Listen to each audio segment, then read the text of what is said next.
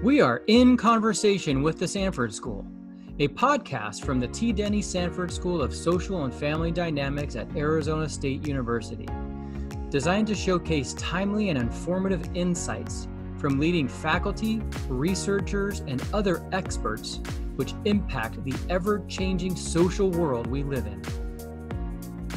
Here at the Sanford School, we recognize that the lands where we are hosting this conversation at Arizona State University belong to the Maricopa and Pima peoples, and we are privileged that we can welcome you to today's conversation. In today's podcast, we're excited to be in conversation with our special guest to discuss Domestic Violence Awareness Month. Please note that this podcast contains sensitive material such as discussions of domestic violence situations and other abuse. At the conclusion of the podcast, we will mention a variety of helpful resources. Our guest today is Gordon Sims, Director of Philanthropy at the Sojourner Center in Phoenix. Our host of today's podcast is Marcella Gemelli, Senior Lecturer here in ASU School of Social and Family Dynamics. Gordon, Welcome to the podcast and take it away, Marcella. Thanks, John. Thank you, Gordon, so much for being here today. This is an important month um, and um, one that we like to, to draw awareness to. And I thought it would be a fitting subject for one of our Sanford School podcasts, um, since we like to, to focus on issues that social issues that are important and also um, reaching out to our community members um, about it. So first, uh, you know, maybe you could tell us about, um, I mean, just for viewers who may not know, uh, what is domestic violence? Who is affected by it?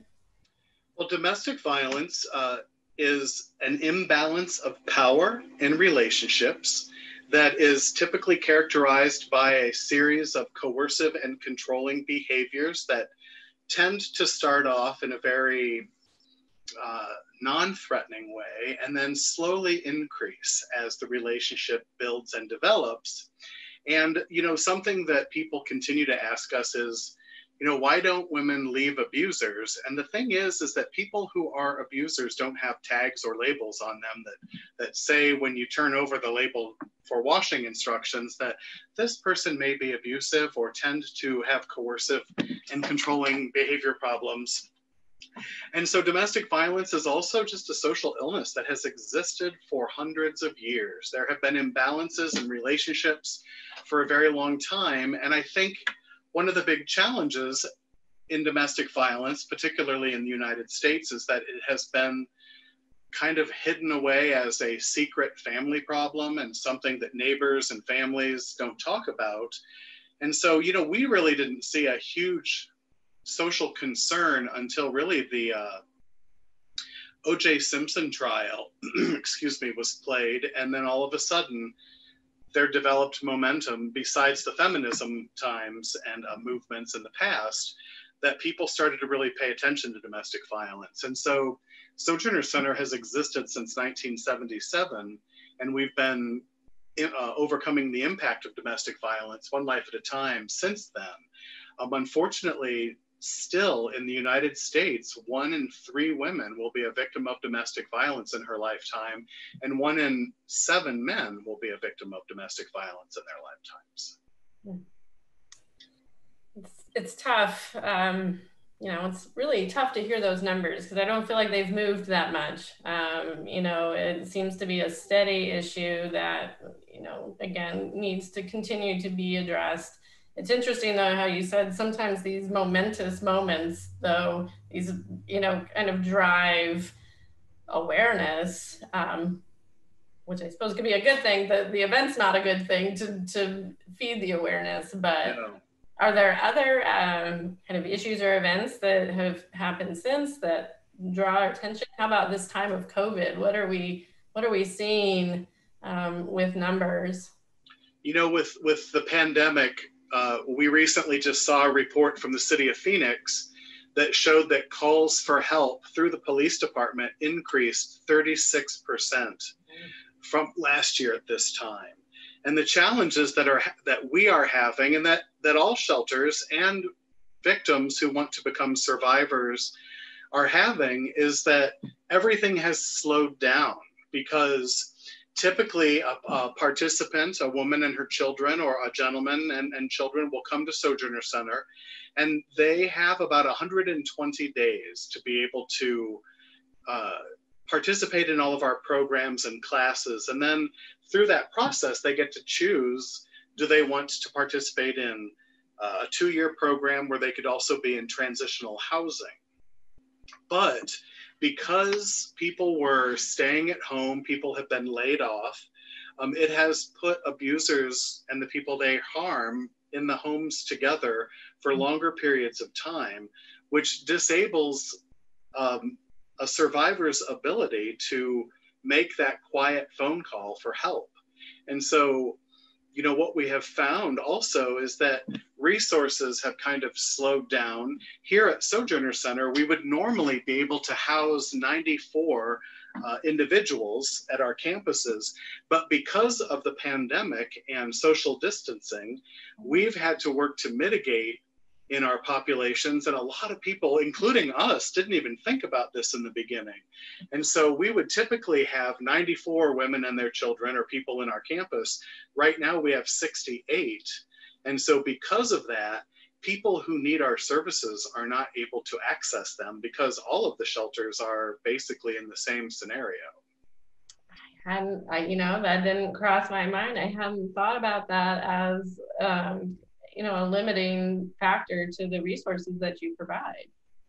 Yeah you know typically i mean people don't realize but more than half of the population on most dv campuses in the united states are children. And so the other issue is that children haven't been able to go to school until just recently. And so the moms even if they had jobs were back here at the shelter um, supervising their children while they were taking classes. So it really has slowed down the process. Now we do have children going back to school um, last week and this week, but we still have to stay on alert because we just don't know how smoothly that's going to go. I do have to say that although the families kind of feel a little stuck here, um, they keep working and doing their lives and moving beyond the impact of domestic violence. And I just have to say that's one of the things that helps keep all of us going, um, coming to work every day here at Sojourner Center. That resiliency of yes, keep going and yeah, and, and, probably a lot of times for their children and to move forward. Absolutely, yeah.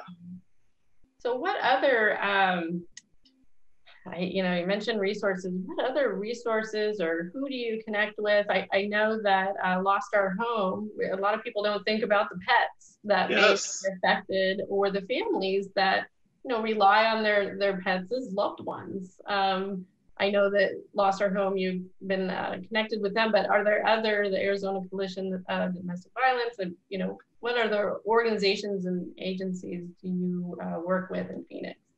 We work with so many organizations. We have a great relationship with Phoenix Children's Hospital, who come, they bring their big mobile hospital and that big, beautiful uh, bus, and they come and treat our children two to three times a week. Lost Our Home Pet Rescue is a great partner.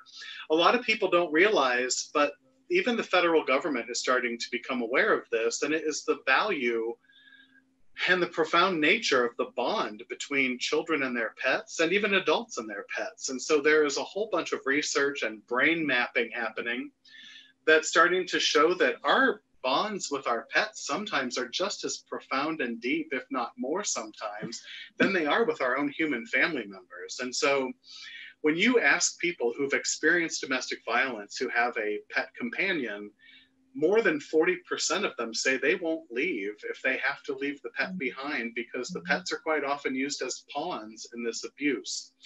We also have great relationships with UMOM because they are fantastic at getting people rapid rehousing. We work with the Ability 360 Center, Fresh Start Women's uh, Foundation we've worked with for years. We co uh, co-sponsor classes there. So we've we worked with Tumbleweed when they were still uh, a part of the the valley. So we really partner with everyone we can because we just had our big fundraising event, and the theme for the event was "Together We Thrive," and we just really believe that's the case all the time, especially with those of us working in nonprofits. Mm-hmm. It's it's good to hear about those coalitions because it's imagine again, um, you know, sometimes when we go through economic recessions and things like that, resources for the nonprofits tend to decline because people don't have the money to contribute or whatever. So I imagine there's a benefit to pooling some resources sometimes. It's very helpful. And, you know, we're also really close with the Arizona Coalition Against Domestic and Sexual Violence. We're great partners with them. And it really just does make a difference. You know, two things we really try not to do is duplicate processes or programs that other people are doing really well. And we also just like to consider the fact that we do live in an abundant world and there are enough resources for all of us. And it's just those collaborations give us the opportunity to see what we're all working on and how we might be able to maximize our efforts rather than all of us working on the same project in eight different ways. So collaboration is really important. And I think as we move further into whatever's going to happen um, in November, the collaborations continue to just need to be stronger. Yeah. Do you do any um, do you any collaborations outside of Arizona, more nationally, or is it pretty focused on the local level? No, we have had some really great relationships with some domestic violence programs. One in Alaska, uh, several in Ohio, um, California. Sojourner Center, beyond our pet companion shelter, also was one of the leaders in the Valley for a, a little more than a couple years for something called the Maricopa MC3DV, which is a Maricopa Coalition Against uh, Traumatic Brain Injury and Domestic Violence Programs. And so we've been working with, we had been working with the Cactus Foundation, the Marley Foundation, and other organizations because there's all of this great data in uh, traumatic brain injury for people who've uh, fought in wars, people who participate in um, professional sports. But when you look at traumatic brain injury research done in victims of domestic violence, there's very little.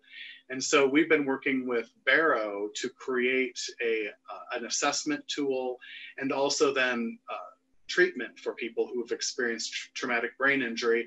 And we even have a, a little duplex house that's uh, next to our, part- our campuses mm-hmm. that's just a little different on the inside to help people who have experienced traumatic brain injury live in more muted colors, not so bright lights, and it just gives them an opportunity to do their healing, not necessarily in the bigger uh, crisis shelter campus setting. Wow, that's that's amazing. Yeah. That's really cool. Well, one of the things Sojourner Center has been famous for is being considered a low to no barrier access shelter. And what we realized after we started looking at research that was done years ago was that, you know, a lot of participants who have been here and have may experience traumatic brain injury, if we're not offering that opportunity for them to heal from that, they still are leaving with significant barriers. And that mm-hmm. could be reading comprehension, the ability to support their children when they're doing their homework. And I haven't experienced traumatic brain injury. And I was helping one of my nieces back in Ohio just doing her long form division. And it was like trying to read German. I had no idea what they were doing. So it, it really is a valuable tool is to be able to offer TBI uh, services because we want people that come to Sojourner Center to be as equipped as they can be to be successful when they leave. Mm. And what what is that process? I I mean, I just imagine, um, you know, mother and her children coming um, from a very disruptive situation. Um, I know you give them the, the the place and the safety and the, the tools how is it when they when they leave? I, I hope that um, you know they they stay safe and and is there some kind of process for for that? There is definitely a process, and, and in the beginning, when participants first get to Sojourner Center, the first thing we really do is give them that opportunity to just ground themselves, you know, see where they are, get comfortable with where they are in their bodies at that time because they've been taught that it isn't okay to feel okay in their bodies ever since they've been in that relationship. And so then, you know, we meet with them initially and we use something uh, called a scale. It's the scales for determining, oh, I just, it just left my head. But what it is, is it's our assessment tool, but we let them assess themselves where they are when they get to Sojourner Center with one of our domestic violence advocates and a case manager. And so it could be things like, um, I want to pursue education. I want to begin a life pursuing the religion I grew up with. I want to make sure that I'm a better parent. So, parenting classes. I know that the abuse, you know, I was strangled a lot. So, I would like to get assessments to see how the strangulation may have affected other systems in my body. But what's so interesting is we do that scales assessment with them when they arrive, and then we do it again in two weeks. And it is fascinating to just see how, just in those two weeks, their priorities shift. Mm. It might shift from those things to I really do want to go back to school and I want to be able to afford housing. I'd like to get involved in some vocational education and I'd like my children to go through some behavioral health therapy. And I want to learn how to be a better pet or a better pet mom to our cats and dogs that are also at Sojourner Center. And then we follow that scales assessment tool during the 120 days they're here with us and adjustment as they move on. But, but as they move forward, the number one thing we always work with them on is the mantra that safety is an illusion. And we do a lot of safety planning, talking about, you know, when is the time that you're most vulnerable when you're getting your car keys to get into your vehicle? You know, always checking where you are and who's around you and making sure that you have a buddy meeting you somewhere if your abuser is still free and, and you know he's around the valley and could find you. So, safety planning really is the number one thing that we do because if you look at the old hierarchy of needs, if somebody doesn't feel safe mm-hmm. and a sense of belonging, then they're not going, going to be able to achieve anything else. Right. That's such yeah. a basic, basic need to be able to move forward to those more self actualizations and getting that education or, or what it might be on that list. And one and an example of that is is we had this really really sweet, fun, intelligent, creative woman who came here several years ago, and she had finally made it out of the crisis program and went down to our apartments. And what's nice is that the apartments are within walking distance of the shelter, so the participants can walk back down to the shelter and ask for help or get guidance from us, and that's the reason we built them that close. And she said I was just getting ready to create my first shopping list in my adult life. And she said, My abuser used to say to me, Here's the list. You have 60 minutes. And he'd click a timer and he'd send her to the store. And when she would get home, he would say, Oh, I see you got everything on the list, except you didn't get milk. And she would say, Well, you always just told me to get what's on the list, to not get anything less or extra. And he said, But you knew the fridge didn't have milk in it. And so for her, creating a shopping list was a scary, difficult, creepy thing because it took her right to that place again. And so for her, the apartments were really important because she could walk down the street, sit down with one of our staff, and we just started with okay, let's go back to your childhood and identify your five favorite foods. And so from that point on, you know, her first grocery list probably was pizza, ice cream, ho hos, uh, frosted flakes, and milk. But what it did was give her that safe opportunity to start the foundation again from, from creating a grocery list. But it's also really great information for us because each participant has that unique experience that if they don't feel safe, and they don't feel like they can be vulnerable in a situation where they're not going to get reprimanded for just asking for help, it really creates that powerful new pathway in their brain to then um, become a grocery shopping warrior at some point in her life. Amazing. That's something. So, you know, I'll just do a shopping list that we just, you know, kind of one of the basic things that we do in our everyday life can trigger you know, very uncomfortable feelings for people who, if you know, you've been reprimanded that you haven't followed the list or yeah, yeah. Wow, it's it's great to hear how individualized you um, you know the care that you give to to the people who come to your shelter. Um, you know, I hate to say, you know, you can only help so many of the women or others who come to your shelter. How do you help? I guess maybe again by um, relying on those other resources in the valley. If, if um, people can come to you and you don't have the room in your shelter. So we typically do something. It, it's just one of the terms we use here. It's called resourcing.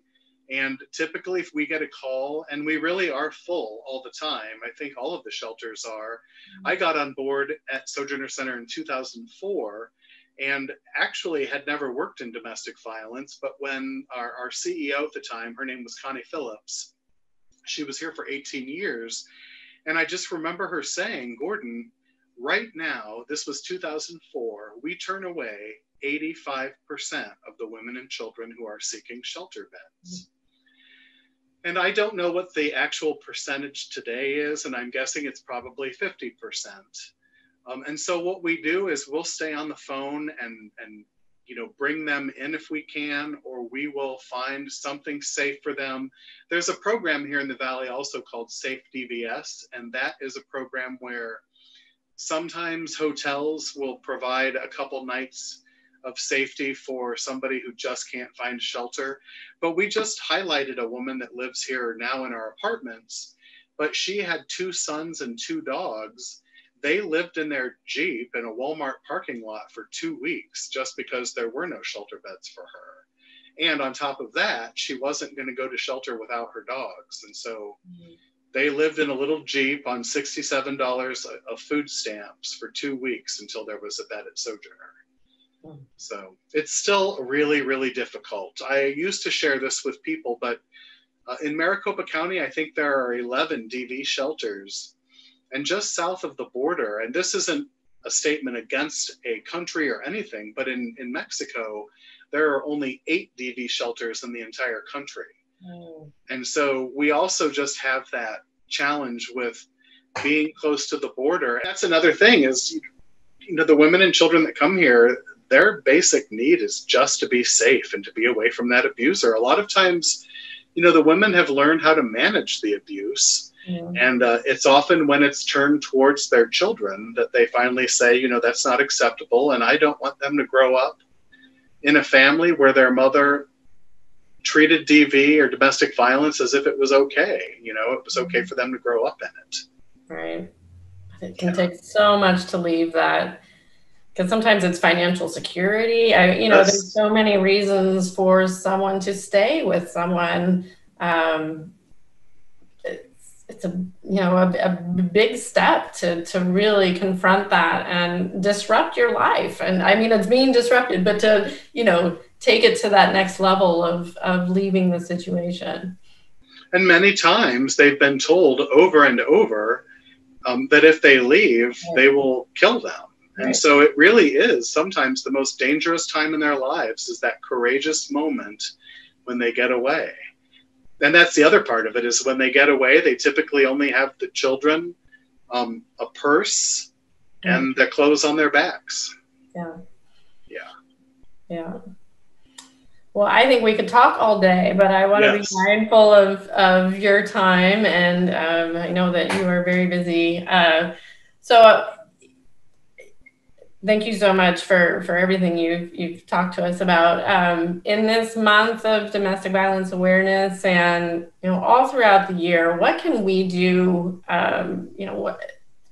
You know, we've heard of that bystander effect of like we don't want to get you know like you said kind of in the very beginning you know it's a private issue we don't want to get involved um, but you know what can we what what can we do as just the general public or people um, about you know about helping helping people in these situations you know the thing that we do at sojourner center and it's funny because i don't actually have one in my office right now um, we do something called a shoe card campaign. And this actually goes back into the 50s and 60s. But um, women started to realize that their abusers weren't looking in the soles of their shoes when they were looking for money or whatever they were looking for. And so, what, what uh, DV shelters did was they created a trifold card that, when you fold it up, is just the size of a business card but what it has on it is all of the available resources for domestic violence shelters in your local areas, the numbers. It has the information in English and Spanish. And so we have a lot of volunteers, corporate partners, and organizations that come to Sojourner and pick up shoe cards and put them in the women's restrooms or the all of the restrooms in their businesses. And that way, it's a passive way for somebody to find a resource for domestic violence for people that you might know and love who you think might be in a relationship like that, the best thing you can always do is to be supportive, to offer empathetic statements, and to not make any forms of judgment or talk about getting away because they're still managing the abuse that they're experiencing. And it often seems like if we, as people who love them and respect them, tell them to try to get away, they kind of stand a little firmer for a little while. And so it really is about compassion, love, and respect.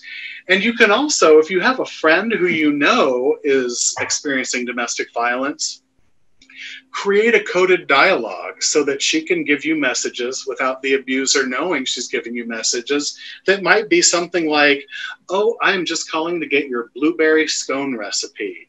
And you know that when she says that, that means that everything is okay and if she's calling to ask for a cup of buttermilk, that might mean that uh, he beat me up last night and I might need mm-hmm. some help. And so it's also just getting creative like that. And I, I would love to say, you know, to call the police um, in dangerous situations. And, and I will say, you know, if somebody feels like their life is threatened, to please do that. Um, but I have also just found that when the victims have somebody of support they can talk to, it doesn't cause those escalations that can cause really severe things to happen sometimes. So, being supportive and extending October to the other 11 months of the mm. year, because domestic violence really is one of the biggest social problems in our world, in the United States, and in our community. And it isn't getting better, and it will only until all of us take ownership of it. Mm. Yeah. Thank you so much, Gordon. Really appreciate your time and thank you. It's important important that we talk about it and appreciate it. I agree. And and you guys, uh, you ever want to come for a tour, let me know. I know you already know, but you know that's the other thing is that we do regularly scheduled tours and we don't do it so we can show everybody our campus. We do it because there's such a us and them thinking regarding domestic violence victims and survivors and people who haven't experienced it. But the thing is, is that if it affects one in three or four women in the United States, it has affected all of us. Yeah. So. Thank you. Thank you. For helpful resources, please visit the National Network to End Domestic Violence at www.nnedv.org.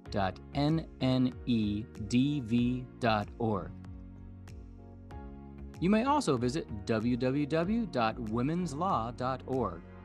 They have a variety of offers for free legal advice to any survivor of domestic violence and a directory of every advocate and shelter by state in the United States. You may also contact the following national hotlines National Domestic Violence Hotline at 800 799 SAFE or the National Sexual Assault Hotline at 800 656 HOPE. If you would like to connect with today's podcast guests, please email the following M. Gemelli that's G E M E L L I at asu.edu for Marcella Gemelli. G Sims at sojournercenter.org That's S O J O U R N E R C E N T E R dot org for Gordon Sims. You may also follow the Sojourner Center on social media. Find them on Facebook, Instagram, and Twitter using their handle Sojourner Center.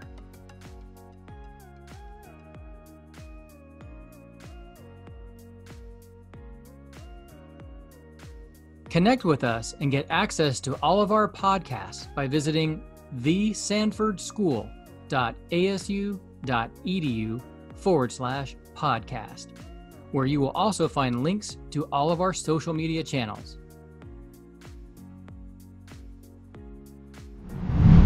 This conversation has come to an end, but our work here continues.